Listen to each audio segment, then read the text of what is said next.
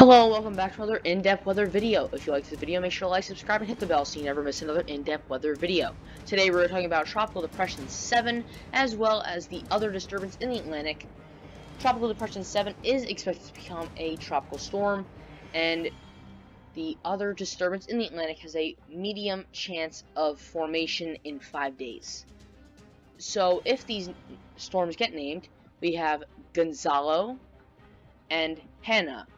So, most likely we're going to have just Gonzalo on our hands and a possible Hanna. So let's take a look at the the cone for Tropical Depression 7. We're we're thinking that this is going to become a tropical storm and then hit the islands in the Caribbean, uh, just north of Trinidad and Tobago, and then through through the ABC Islands, and then into the Caribbean Sea.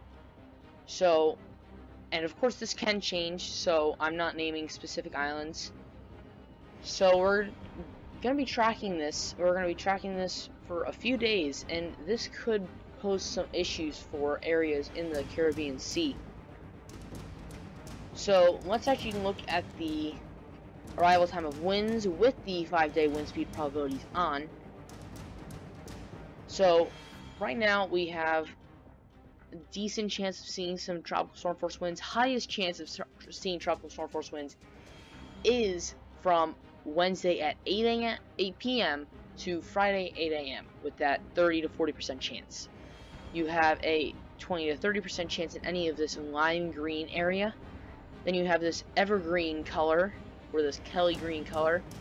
That is 10 to 20% chance, and then you have the 5 to 10, which is this darker green color. So the islands, the island chain here in the Caribbean, should be expecting the earliest time frame to get these winds between Friday 8 p.m. and Saturday 8 p.m. The ABC Islands after that. So the ABC Islands are the uh, the Netherlands-owned islands off of Venezuela. The, the most known one is Aruba. So let's move on here to the other the other disturbance here just quickly. This one will be most impactful. So right now it is in the Gulf of Mexico. If it forms, it would possibly make landfall in Louisiana and Texas area. So if you live in the Western Gulf, be on the lookout for this. I will make a separate video if this does form. Now, let's move on to the GFS model. Here is TD7.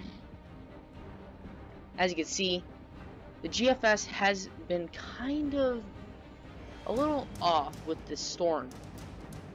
So it is showing it really not forming much and then kind of disintegrating. It's also showing our other disturbance not to form either. So we're kind of we've kind of been going off of the National Weather Service, and the National Weather Service usually has been right. So the the hurricane hunters that the National Weather Service has, they do a great job, and they kind of beat out the models here.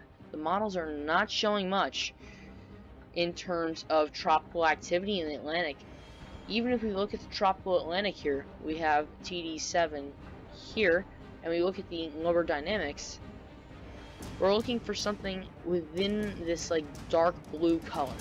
So it's really not showing, it's showing a little bit, but it's really not showing much until right at the island chain here, the, I think this is the Lesser Antilles, correct me if I'm wrong,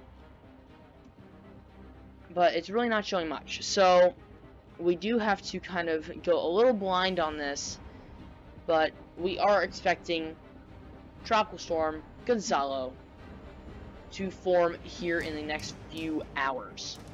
So currently TD7 has 35 mile an hour winds, so we need 39 mile an hour winds to be classified as a tropical storm. So very close there. Minimum central pressure of 1009 millibars, and moving west-northwest at 8 miles an hour.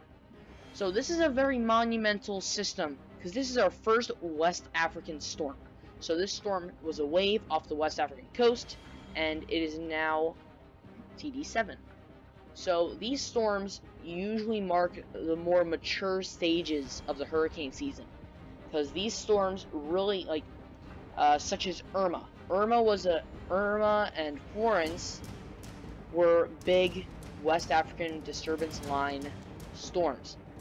They form off the coast of West Africa. They have a lot of open water to really strengthen, and then they eventually hit areas in the west as well. So areas the east coast of the U.S., Caribbean. They can even they usually hit the island chains and the ABC Islands areas like that. Possibly some areas of northern South America and into the Caribbean as well. So they these storms really show that hopefully we can get a hurricane on the charts here. We've had a lot of tropical storms, we've had a lot of tropical storm activity, but none of them have really strengthened. So hopefully with the West African disturbance line, we can start to see that strengthening. Because there definitely there's definitely a lot of energy in this area. So that is all I have for TD7. If the other disturbance gets named, I will do a separate video on that. If you want to get information on the other disturbances, Tropical Storm Douglas, please check out my video on TD7E and Hurricane Douglas. That's all I have for today. I will keep you all updated and have a great day.